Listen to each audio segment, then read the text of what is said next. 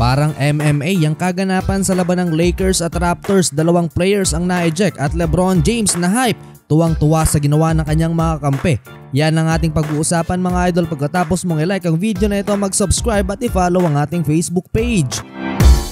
So yun mga idol, laban ng Los Angeles Lakers at Toronto Raptors.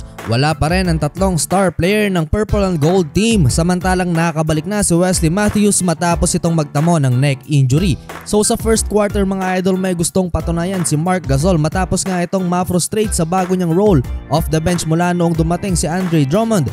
Opening quarter mga idol ay nakapagdala agad ito ng 9 points 3 assist. Siyam na puntos din para kay Markieff Morris at 8 points naman for Kuzma kaya agad na lumobo ang kalamangan ng Los Angeles Lakers 40 to 28.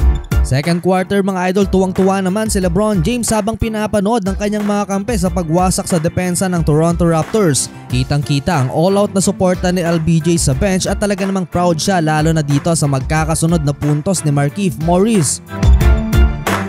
Habang si Anthony Davis naman ay binibigyan ng advice si Dennis Schroeder. Naitala nila ang biggest lead sa second quarter with 34 points. Halos lahat mga idol ay umaambag sa opensa. Ganda ng mga assist ni THT at ball movement talaga ang nagdala sa kanilang unstoppable run. 68 to 42 at the end of first half.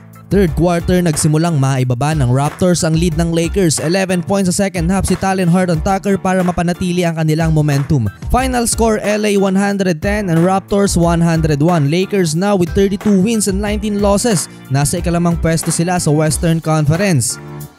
So kanina nga mga idol sa first quarter nagkapisikalan nga sa pagitan ni OG Anunoby at Montrez Harrell. Nagsimula ang parang MMA na kaganapan noong ni-wrestling ni OG si Dennis Schroeder. Matapos alalayan ng Laker guard ay bigla na lamang siyang itinumba at dito na nagsimula ang sagutan at tulakan. Pumagit na kaagad si Gary Trent Jr. at sumunod na sa eksena si Montrez Harrell na tinulak naman ang bagong miyembro ng Raptors. Napaghiwalay naman ang mga involved at na-eject nga dito si Harrell at OG Anunoby Well kahit nawala sa aksyon ang reigning 6th man of the year ay nakuha pa rin ng purple and gold team na makontrol ang laban.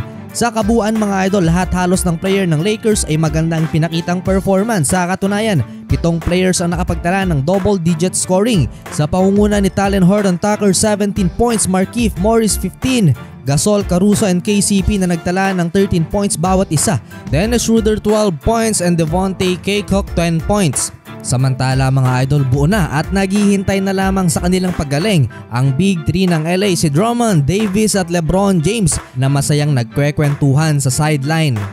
So yun mga idol sa ating update sa ngayon, please like, comment, mag-subscribe kung bago ka pa lamang at i-follow ang ating Facebook page for more NBA updates.